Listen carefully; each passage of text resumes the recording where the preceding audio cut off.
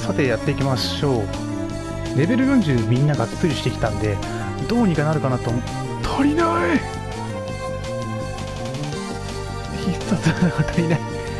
そっかじゃあそっか足りないのか。3ターンに1回打てるんで。で ハデスが全体攻撃でやけどか毒を入れてくれるっていう。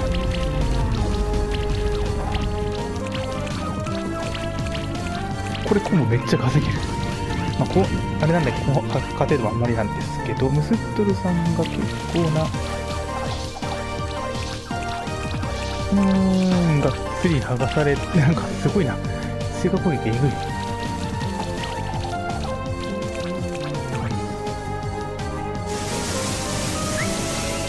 どうしようかね。あとアイテムの存在をいつも忘れてしまうので。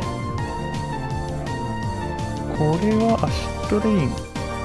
スコアクラウドを全体攻撃で入れて。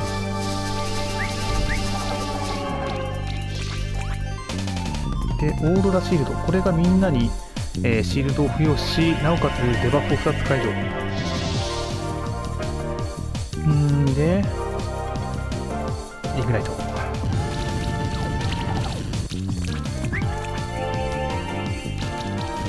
でなんだっけな。えー、とうちの愛ちゃんが確か敵のデバフとかってる敵の回復量とシールド風率を下げるってやつをつけてくれてるんで。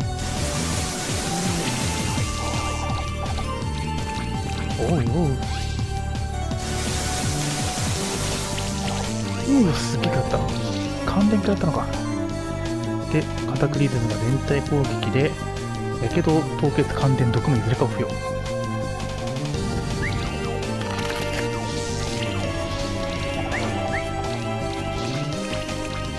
おうおうおうすすごいコンボ稼いだんじゃないか。20コンボファイヤーシールド。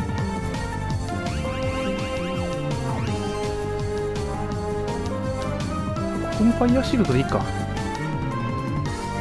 シールドいっぱい貼ってやけどを増やして。いくオッケームストゥルフはいったね。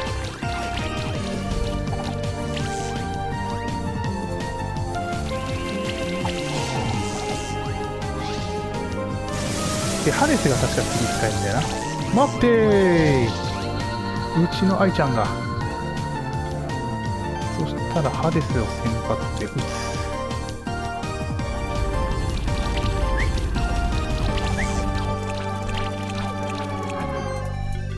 そしたらシールドにしようか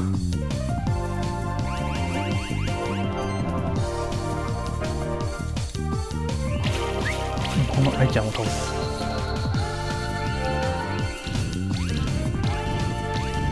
全然ひっくり返されたもんね。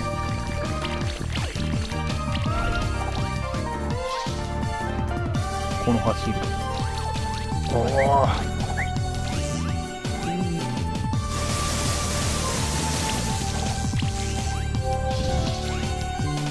でここら辺からちょっと頑張ってこうオーロラシールドを貼り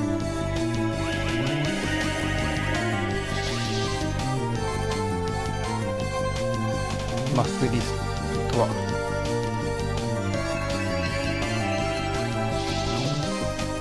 そんでいいね。装備も強化してきましたからね。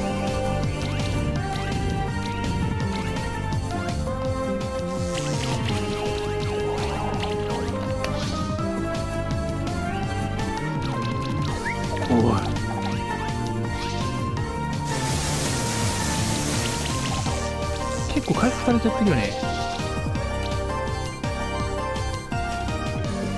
あ歯です足んね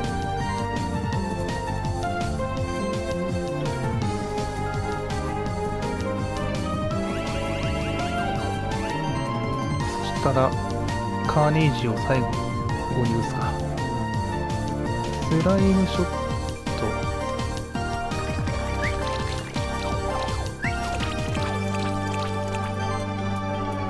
reach.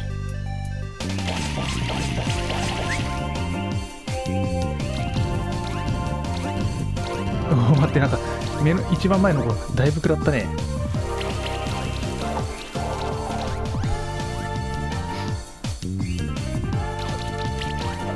うえ。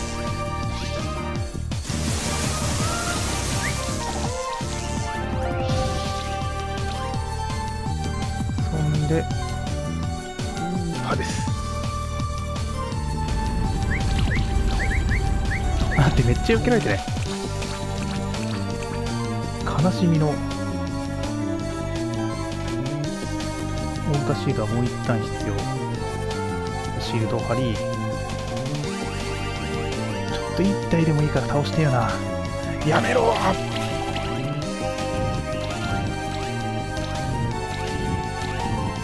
うわシールド割れなかったでしょ。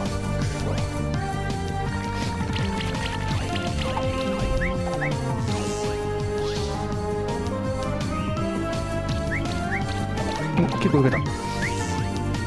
待って めっちゃシールド剥げたくそー。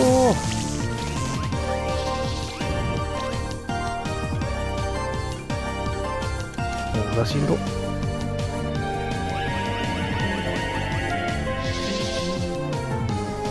えー、マスリストアを打ちたいところだけど。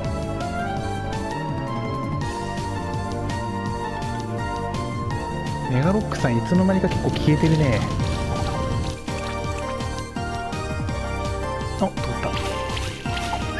しこれでメガロックさん倒したべよしよしよし。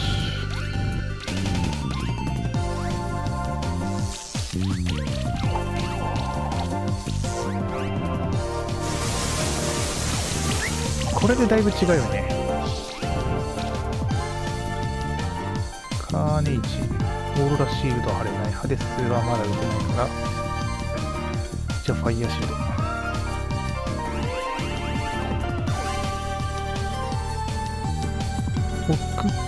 こがまだだね。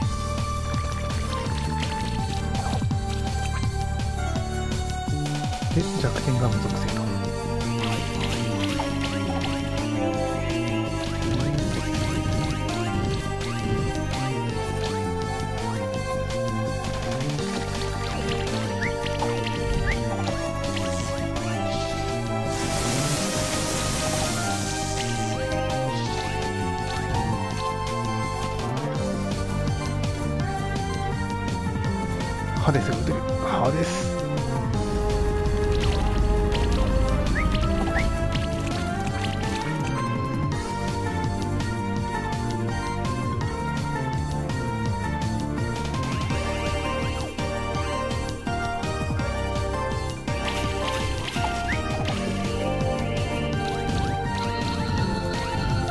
こなんであんな減ったんだ？で意外とこの小池が残ったか。で一応適当にやらないようにしよう。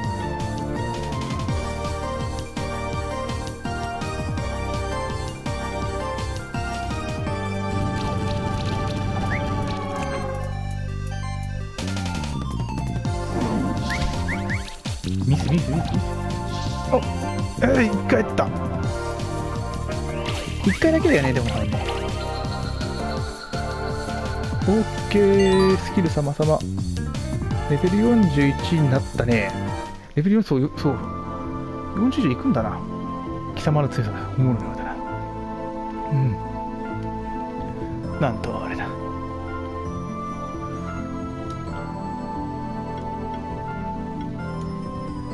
なんか40で終わりそうな気がしたけど41いくんだったら全然助かるな。変わらず上がっていくのであれば、どんどん強化していきたいところ。じゃないとまずいよな。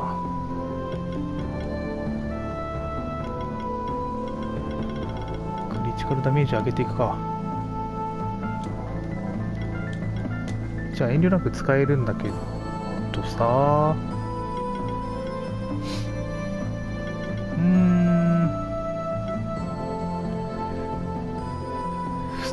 基礎能力値は上げた方がいい気はするんだよね。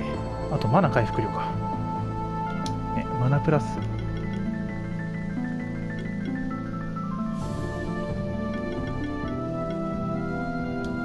防御レート攻撃は一番最後でいいかな。ハイブリッドバスタリー結構いいなこれ。両刀だからねこの子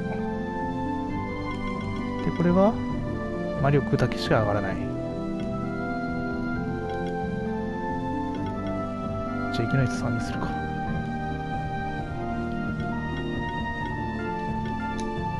この子だからちょっとどうしようかなって考えててさたださマナ足りてなかったよね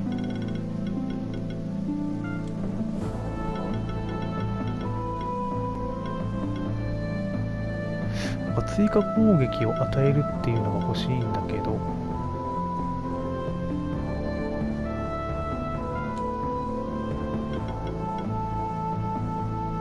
魔力をガンガン上げてもいいような気がするけどどうしましょうか。マナプラス。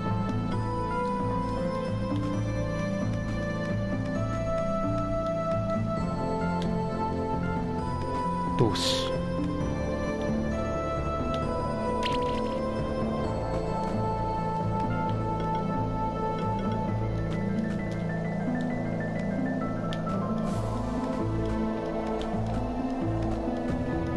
だ上なんだ。氷。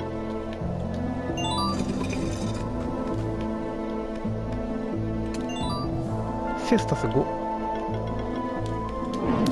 そう結構5をもう持ってんだよな。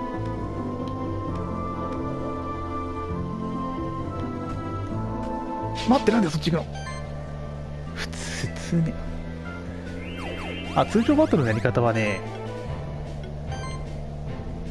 通常バトルはねまあハデス打つだけです。でここでハデス打って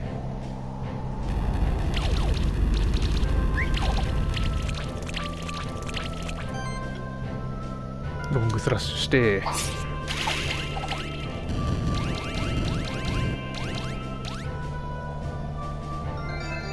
でもそうステネが2体いるとねマスリストで一気に消されるんだよね。悲しい。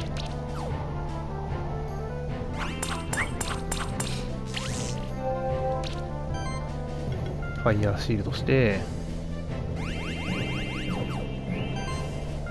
毒巻いてカーネージしてあとはカッコ撃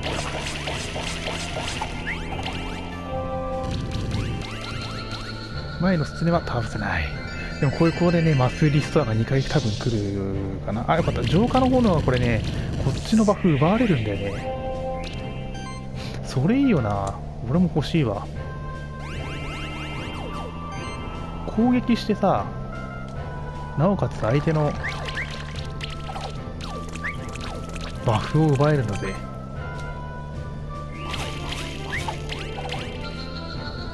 対人戦マジバフ合戦とかバフ敵めっちゃバフかあれさモリモリしてくるからさ。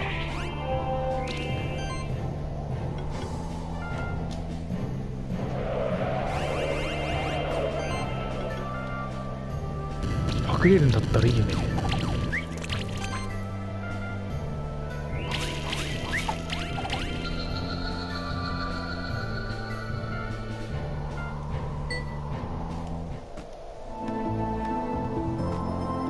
草。草？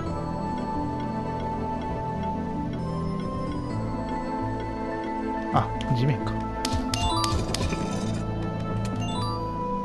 クラフトボックス。あそう報酬ボックス全然開けてねえな。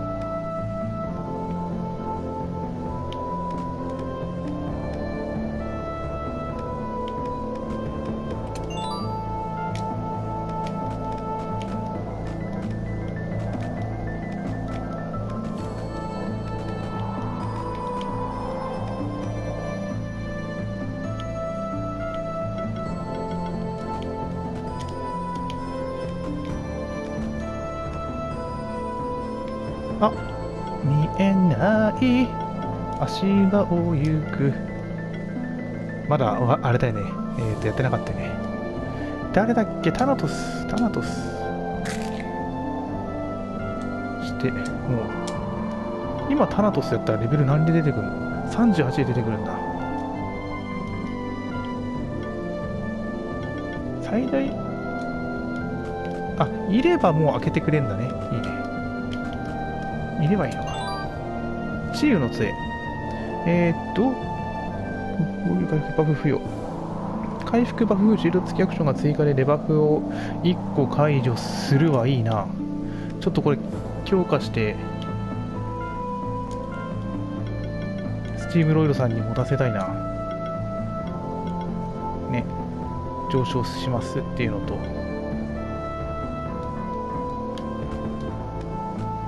そうしたらデバフ解除めっちゃ楽なんだよな。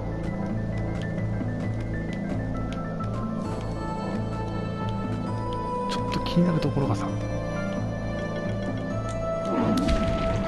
だよね。あそうここのねこうか。えっ、とあそこの下。わかります？真ん中ぐらいのところ。あれダメでした？開かなかった。あシフトそう。あそこ開かなかったんだよね。反対側から回ったけどダメだった。ちょっと一回帰らせてほしいな。なんだよ。なあまだいたね。ガイムス。お前のベッドいい話してんな。見えてる。おうなんと恥ずまし。い初代モンスターキーパーともとある魔法を生み出したんだ。キーパージェルの少女の相手がモンスターを奪えるっていう魔法な、あの、モンスターレースっていうゲームがあるんですけどさ、あれ普通に賭けレースが行われててさ、モンスター取られたりするってなかなかえげつないよね。うん。俺の父を偽装して他の一族のファミリーを奪うことができる。すげえな。ブーメテはただの道具なんだよ。スペクトルファミリーを奪ったもそういかな。あのファミリーは俺にこそふさわしい。俺はそれをはっきりさせただけだぜ。口だけは達者だな。カイムス。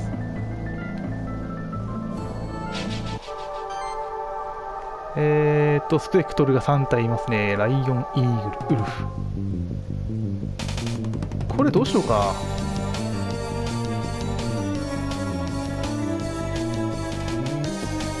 これが魔法耐性なんだよな。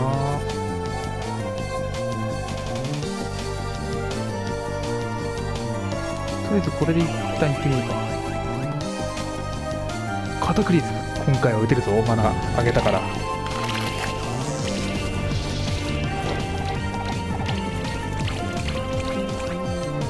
で、ファイヤーシールドを払う。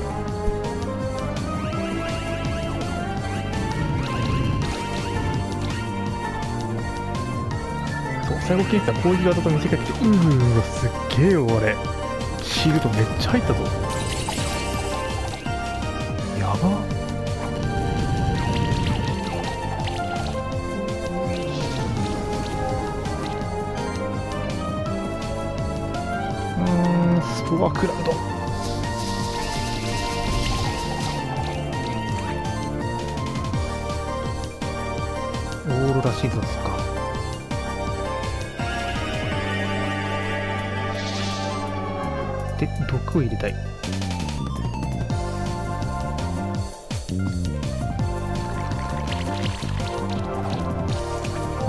普通に効いたな。セ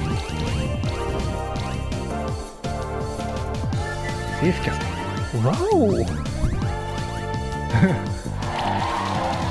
くりするぐらいシールド貼られたぞ。えー、そんなに？やば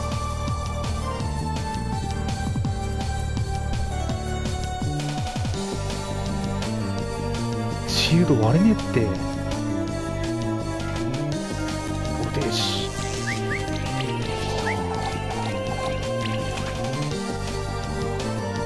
うわファイヤーシールドあれねえし。最悪。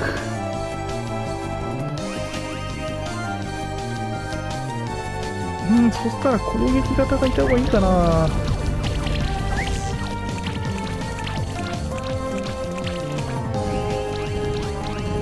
シールド割れないよねこれ。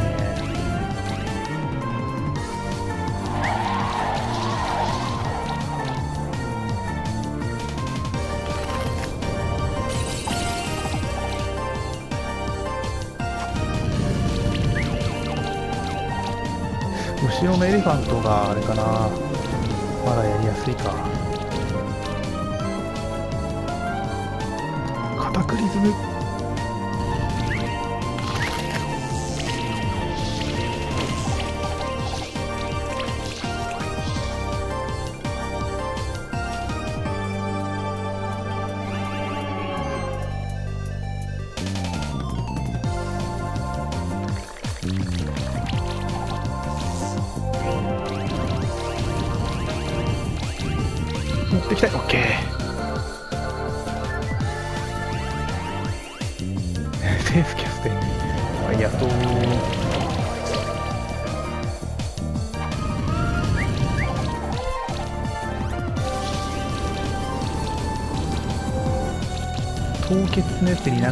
なんか追加ダメージってのがあるのか。オーバーシールドが貼れない。ハデスはもう一旦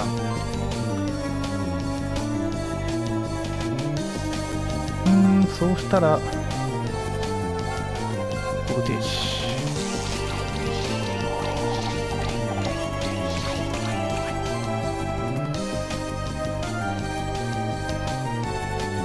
シールド貼るか。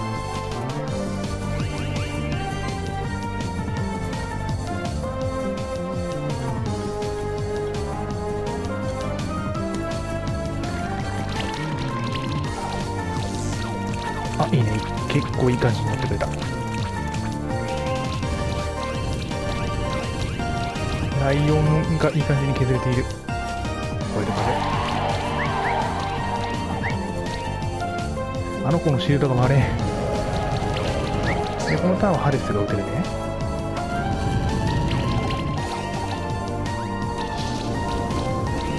凍結4食らってんのか。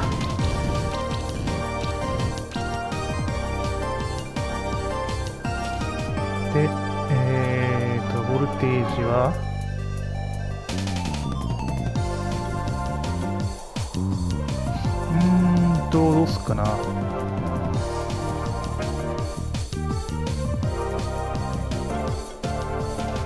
アーマーブレイクは、スパークラウドじゃ全体の話か。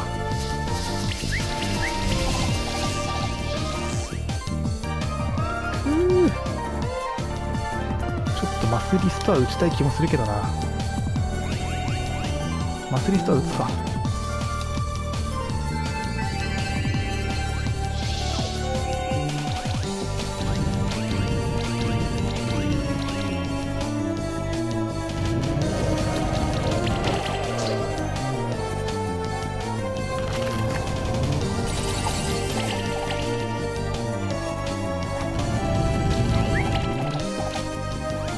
でカタクリズムはこのターン打たないとして。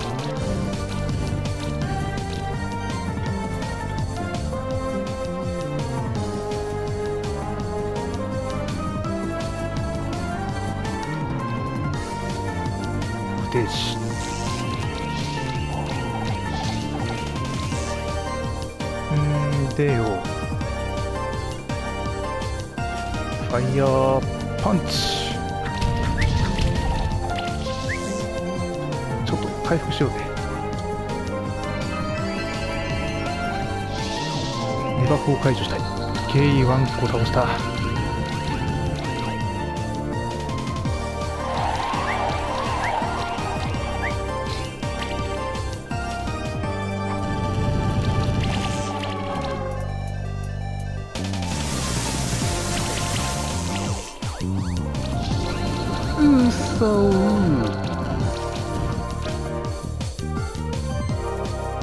ちもさどれか1個やられちゃうときついんだよね。だって全然全然効かなかったなファイヤーシフト。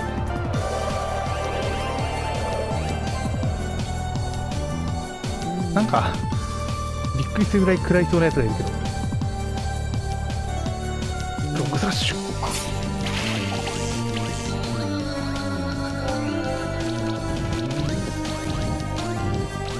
いい感じじゃない？だいぶだいぶ持ってったぞあいつて。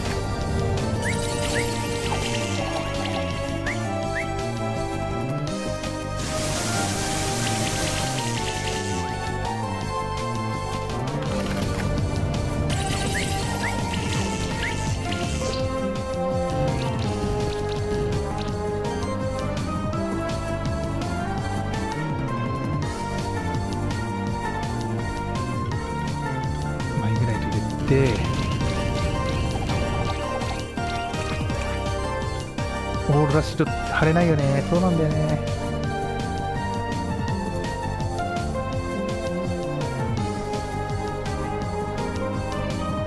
いやでもシールド貼りたい。カーネージ足りない。そう凍結が凍結が厄介。よし。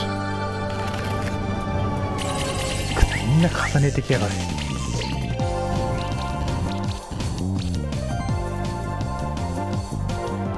ボルテージでももうここまで来れば。ファイヤーパンチ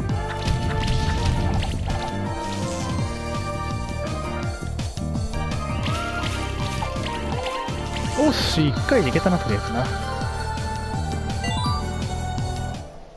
レベル4報酬ボックス。おう魂霊障記録与えるんじゃねえかこのプロペラが。ファミリーたちだこいつら返してるよとてもいいと思ったか。ええ。俺らがファミリアを手放すと思ったか。同志が違いだ目は目前だぜ。早く先死んで自分の目で確かめてみたらどうだ。へえ。何つう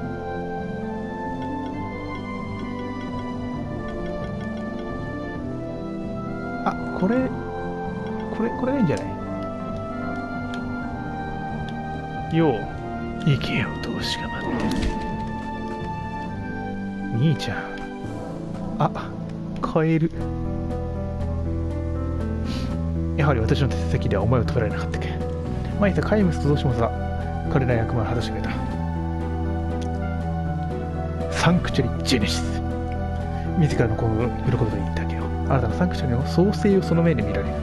ファミリアの力を持ってモンスターサンクチュアリを生み出した初代モンスターキーパーたちはこの部屋サンクチュアリ・ジェネシスを作ったサンクチュアリ・ジェネシスを支配する者はモンスターサンクチュアリをいるままに作り変えることができるすげえこの世界には奇妙な手がいくつもあるそう思ったことはないかサンクチュアリは他の世界から切り離された世界であり、種の保存のためだけに存在する。サンクチュアリに存在するものが真の意味で消滅することはない。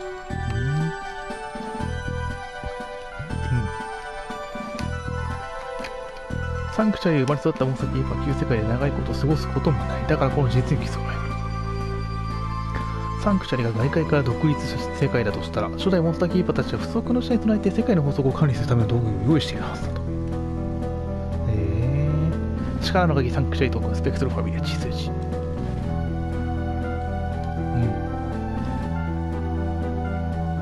ん。旧世界への復讐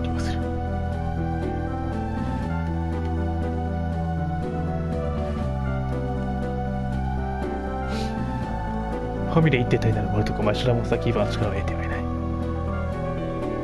そうか。ああ、マットイがいるな。これレベル40にしてないのが、あの、すげえ、ドラゴングラン、ドラゴズール、ドラゴノワールだって、すげえ3体になるのかじゃ両親だよね。レベル40にされたらさ、こっちはきついわけじゃないですか。必殺技がバンバン飛んでくるってことでしょ。これだけが唯一の救いだわ。片栗。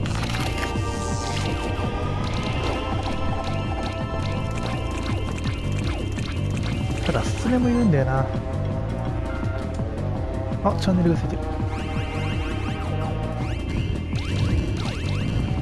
あ、普通に結構入ったな。祝福。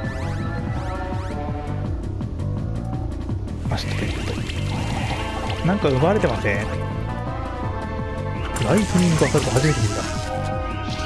なんかこっちのバフを奪うってやつを使われてるんですが。スパークラウド。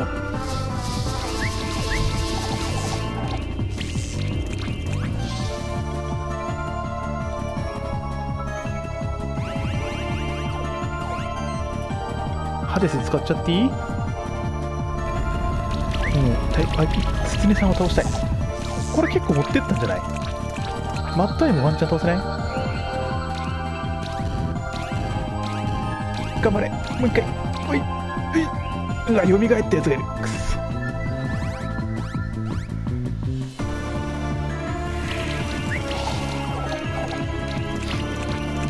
ただシールドは残ってんだよな。ヒートしまうやめろ。待って強い強い強い。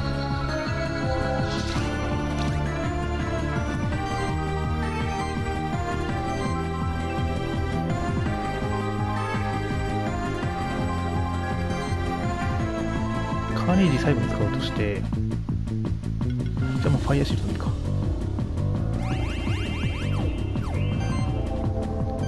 でスライムショット。あそうか物理弱点ですね。カーネー。ジ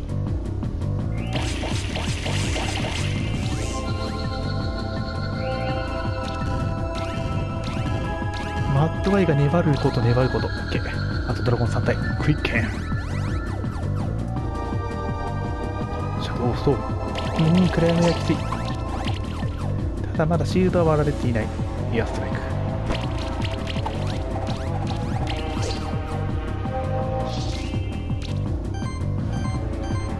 そしたらオーラシールドを貼ろう。バフ解除。デバフだった。バフを解除したらまずい。えーと真ん中の子はいいとして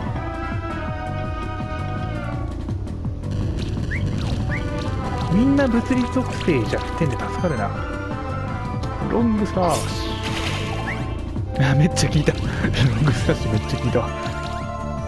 びっくりするぐらい効いたわ。もしかして彼が一番強くないの？か今のところ。どうしてもスカイムスの方が強かったけど、まあ、まだわかんないからこっから全然逆転もありえるわけですよ。こうやってなんかすごい狙われてさ。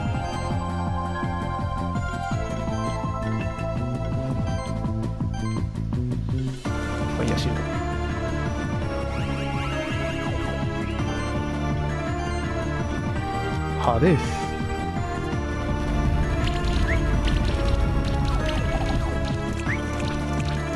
でもここまたロングスラッシュ打ちたよな。よし。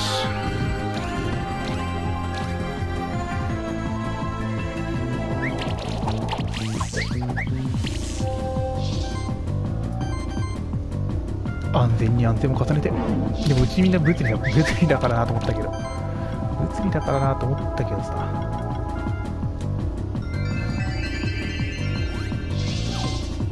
まあそうだよね。や暗黒があるからな。よっしゃー。意外と余裕だったぜ。お前の負けでもあるとくお前の陰謀は失敗に待ってるだな。は確かに負けたかもしれない。が私にはまだ同志がいる。同志はまだ別物なのか。私を見すぎかあなたの地図に人がってきただろう記憶したはずだ何かが奴の体が出てきたぞ。えまさか。あびっくりした。あのオーブに入ってってあれの代わりになるのかと思った。ラスボスがやっぱりまだいた。うわー最後のリーダーマッドロード。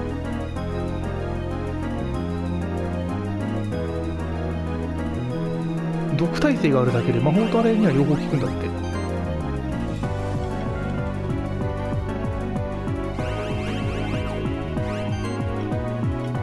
歯です。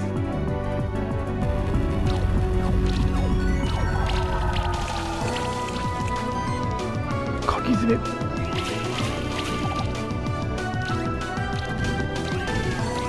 でも3対1だからな。3回攻撃がしイグナイトスキル。おお殺す渋じゃんやっぱ3回攻撃かだよねそしたらオーラシールドで解除しましょうでもこれにさマスリストは入れられるからさ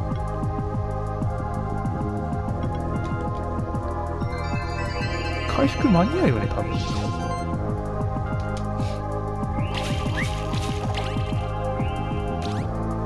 あとあいつのバフをバフを解除しないといけないから。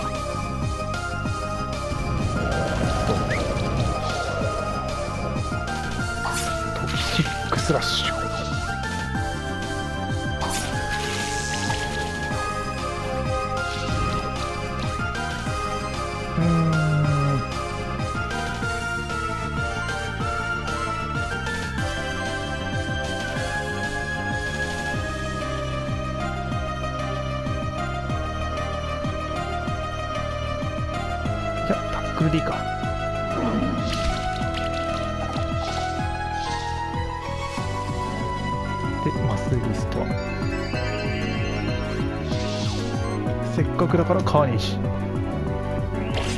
トしかでもしないからな。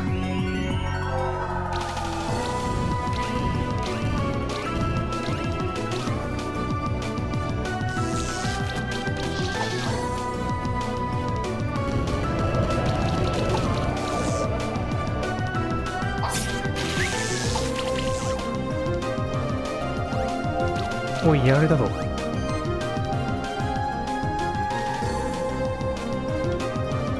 アイテム。不死鳥復活しろ。よし。いやファイアシールシールド貼ろ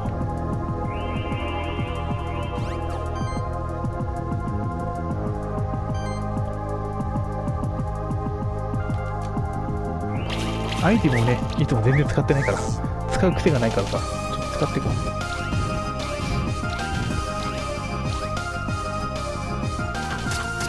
やめろ。う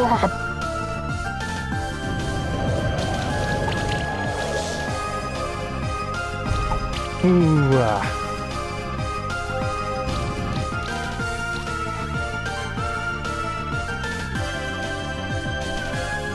俺は負けない。マスリストは。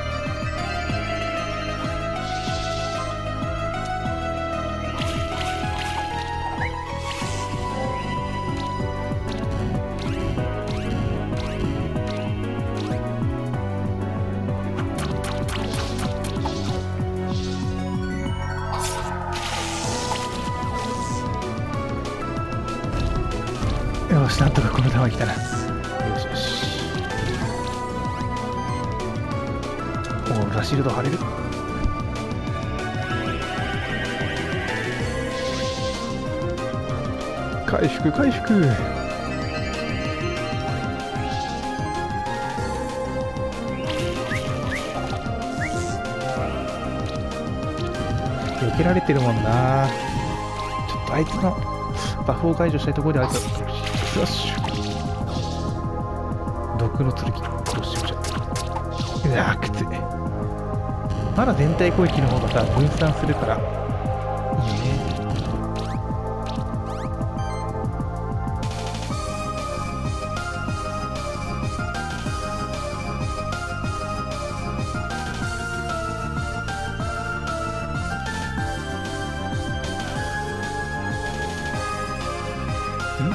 プラス25防御力付与ファイアシールドの方が強くね？やっぱり。ファイアシールドか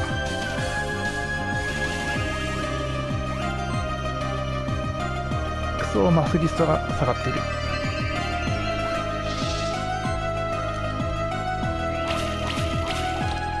いいね。結構当たった。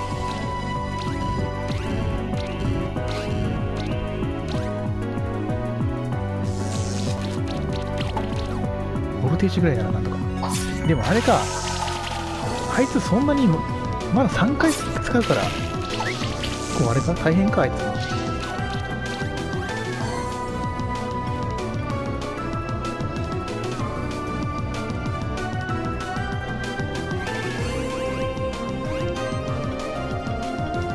りあえずマスリストはレベル2がまだ使えるだけまあ1個ずつになっちゃうけど。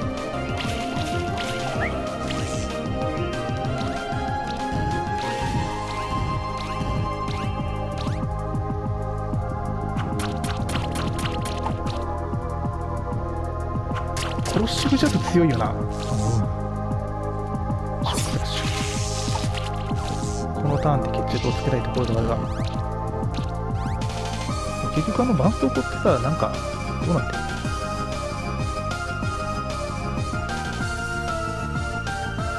あ解除されてるってことか。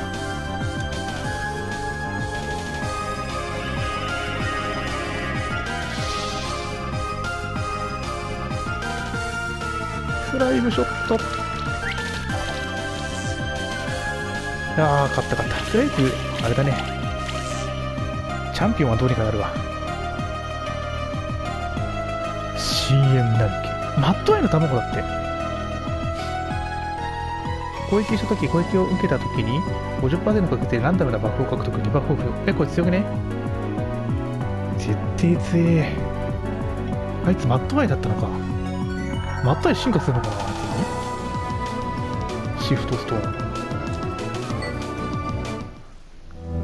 こいつマッドアイらしいよなんという怪物だ。安けた後にまだ立ってるぞ。マッドロード。あマッドロードか。マッドアイたちのロードか。キングだね。愚かな生物にそう簡単に勝てると思うなよ。喋ってるのかいや私ってた。直接語りかけているんだ。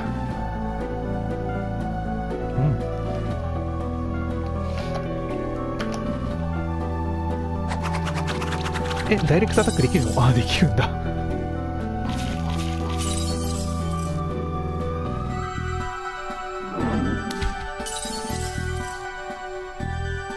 普通に破壊できたらしい。やったぞ。あ戻ってきた。素晴らしい。貧弱な人気ごとき我が死別なる以外貴様の価値はない。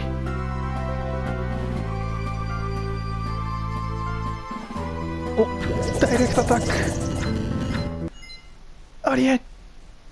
なんで我に従わない？このような我を認めんぞ。いつか必ず戻ってきてやれ。おお勝った勝った。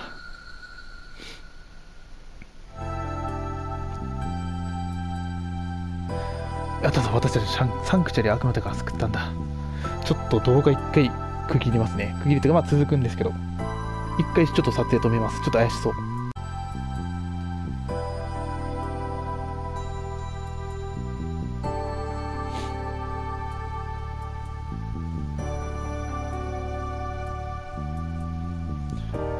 かエンディング入りそうだったからちょっと一回区切りました。錬金術もあ操っていたのはあの悪魔だったか。まるでかあの悪魔を利用していたのかそれともされていたのか。おままだ生きてる。どうして私を置いていってしまった。存在を感じれない、えー、私たちの計画が失敗した。どうして私たちを見せた。これまでの計画全て説明しよう。そうか説明してくれるのか。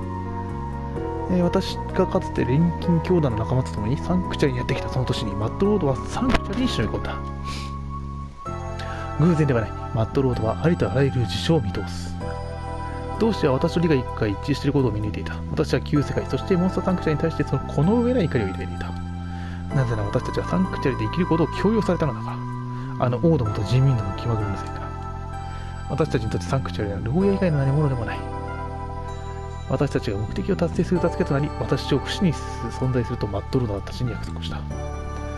その代わりとして私はこの体を同志に貸し出した。こうして私はマッドロードの宿主となった、うん、この体の中に意識の中に同志を得たことで私は変わっていった。目的を達成するためであれば目の前の障壁を障害壁を排除し人の道を外れた恋に手をする覚悟をもともとできていたしかし私の中にマッドロードがいたせいだろうか。私は自分でも驚くような悪行を働くよ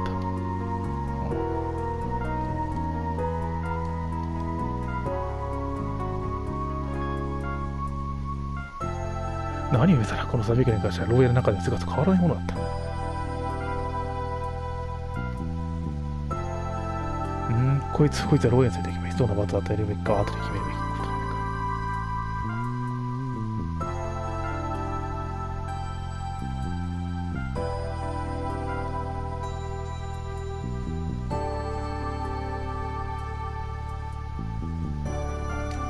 お兄さんとの話はなかったね。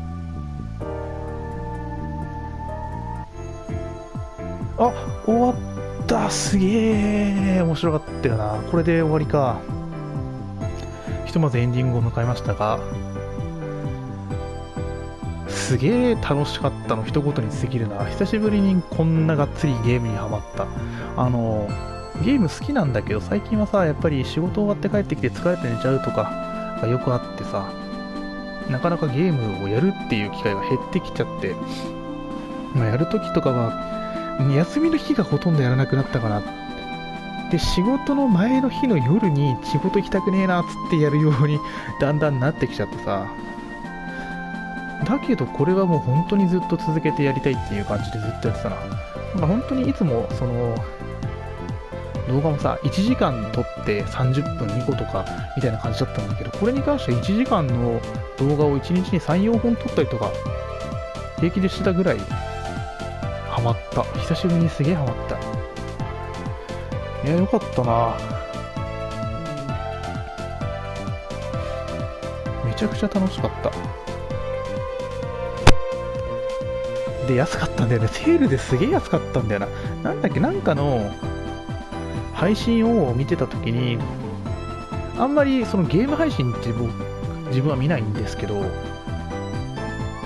あだからそれもあれかだからゲーム配信とかって結局自分がゲームやってるから見なきゃいけないじゃないですか画面を。その間にゲームできないっていうのがあんまり好きじゃないから雑談配信をラジオあ作業 BGM みたいな感じで流しながらいつもやってるんですよ。で確か雑談かなんかの配信を流してた時にこのゲームをやってたのかなその人が。でなんかちょっとやっぱ面白そうだったんで一旦そこで。ただ配信をゲームの配信見ちゃうと自分がやるとき自分がやるゲームやりたいゲームの配信って基本的に配信とか動画ってあんまり見ないんですけどだからそれもそこで切ってじゃあ自分でやってみようと思ってやってみたらめっちゃ面白かったっていうパターンですね。ポケモンとメトロイドが混ざったような感じのゲームで。メトロイドの、えっと、スーパーファミコンとゲームボーイか、まあ、確かこれでえスイッチの方でできるはずなんですけど、でメトロイドちょろっとやったんだよね。で、マップも、こんな、こういう感じのマップだったんだよね、確か。で、あの、少しずつ、装備とか充実していくと、あの、壊せるようになって先に進めたり、みたいな感じだったのが、まあ同じような感じだったんだよね、これもね。いやー、まだ5パートぐらいしか動画投稿してないけど、最終回まで一気に撮ってしまった。どうしようかな。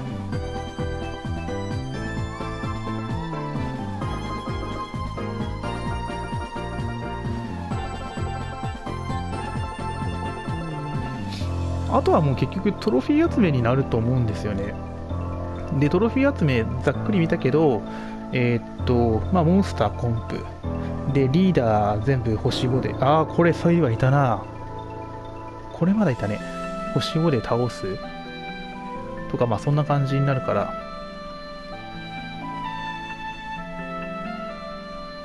あとは裏でやる？動画にするか、うーん、かな。まあ、ここで一旦区切ってもいいような気がしますね。で、たくさん動画のストックが取れたからその間にのんびりとゲームを楽しみながら次やるゲームを決めようかなとは思いますね。何やろうか。なんかこういうインディーズゲームっていう扱いでいいのかな。だいぶ時間はかかったぞ。たまにねやったりするんですよスイッチで。でそれもやっぱりね面白かったりするんだよね。だからそういうのをまた見つけていきたいのとあとはあれかな、この作者さんが作ってる他のゲームがあれば、それを探してみるとかの方がいいのかな。結構、プレ4でできるゲームっていうのがあんまりだったりするから、まあ、大体 Steam なのかな。Steam はね、ちょっとパソコンのスペック足んないから、できないんだけど、また積みゲー消化を少しずつやっていきたいなと思います。意外と、こんなところは来たことないぞ。虹色がおるやんけ。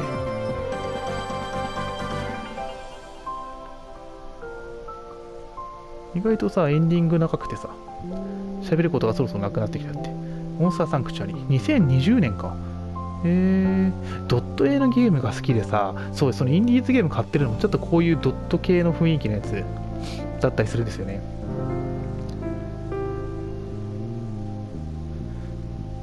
オクトパストラベラー買ってまだ一回もやってない。セールで買って忘れちゃってそのまんまにしちゃってあの買うだけ買ってやってないゲームまだたくさんあるんでね。続ける。やったの竹を私たちはサンクチュア作ったんだ。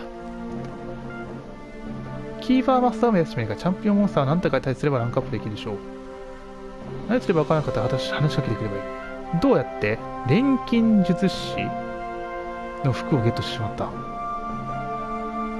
そのなんかね、話しかけるコマンドこれわかんねえんだよ。あーっったねこんなん。みんな40超えてるじゃん。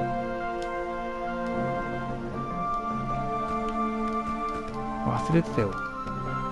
でまだ行けてないところがたくさんある。マップと破率も100%にしないといけないんだけど結構いけてないんだよね。というか仲間がいないからなんだけど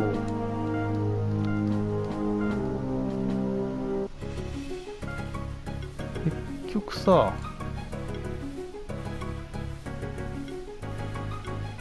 まだ見てないやついっぱいいるよね。結構えぐい顔してるな。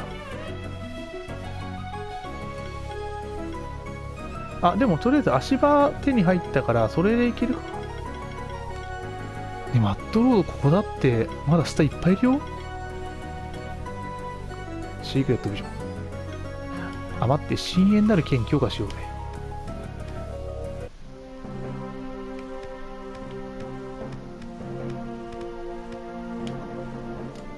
間違えた。か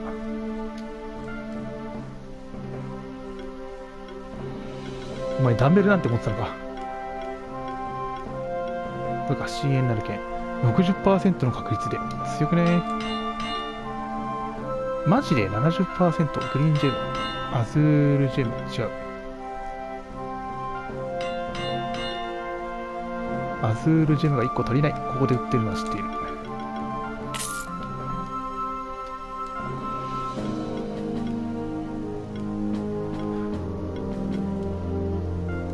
じゃあ100%になるってこと攻撃時もしくは攻撃を受けた時ランダムな魔法獲得中からランダムなデバフを付与強くね？で？あとさもう一個あったよね。俺が持たせようぜって言ってたやつ。シールドジェネレーターはシールド付与するでしょトーテム灰色の真珠これシフトしてないとダメなんだよね。シフトしちゃダメなんだ。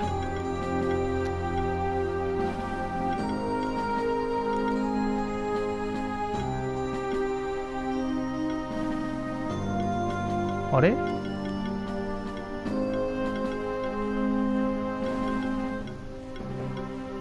武器だっけ？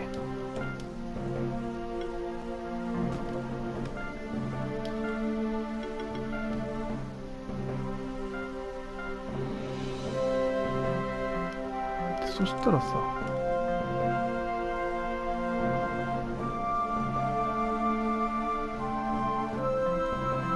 攻撃時でしょ？カタールクリティカル率を上げてるから。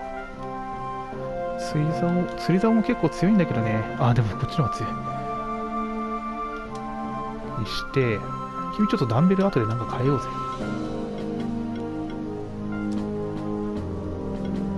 俺何にするって言った？レアなやつだってね多分ね。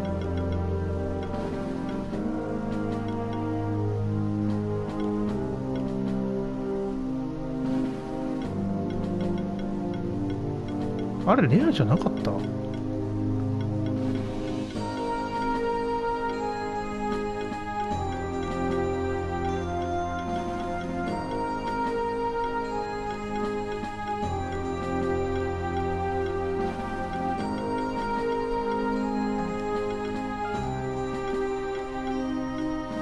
あ、こっちか。治癒の杖ね。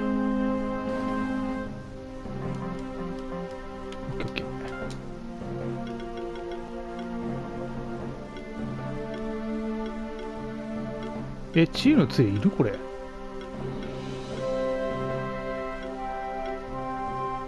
あ、治癒の杖、こあ、じゃあグリーン、グリーンジェムが足んねえだけだ。ひでえ話だぜ。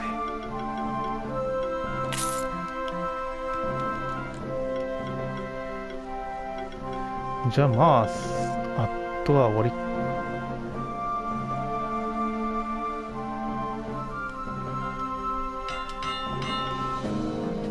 グリーンジェムめっちゃ足りねえ。まとめて買えばいいと思ってると思いますけど。ケチンボだからさ。必要なものを必要なだけ買いたいタイプ。なんだバーバーダントジェム。まあお金結構あるからね。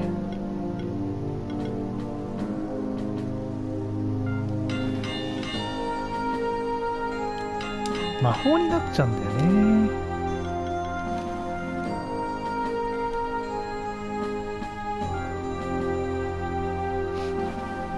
バフを2個解除する。攻撃力低くなったなもう完全にシールド用だよな。これでまたいろいろ戦えるんじゃないか。じゃあ、モンスターサンクチャリこれにて最終回となります。お疲れ様でした。なんかちょっといろんなゲームあったら教えてください。お疲れ様です。ありがとうございました。